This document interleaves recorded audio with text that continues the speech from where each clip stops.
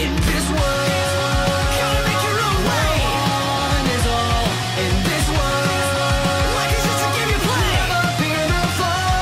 When you leap without a net, you'll find it won't be there all the time. So watch your step now. Watch your step don't fall.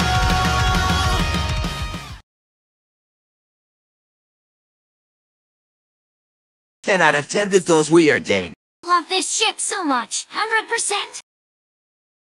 Me and Tails are like brothers. Even so, we're best friends. Why does this exist? Shadow and I are just friends. Cream and I are just friends. We're too young. 10 out of 10, Rouge is my hot girlfriend. We have a strong, steamy romance. Rouge and I are siblings. We're brother and sister, nothing else. Amy is just a friend. I mistook him for Sonic and he has Maria, but we get along very well.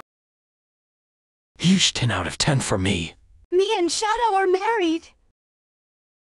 I also mistook him, but he's married to Blaze. She's only a friend.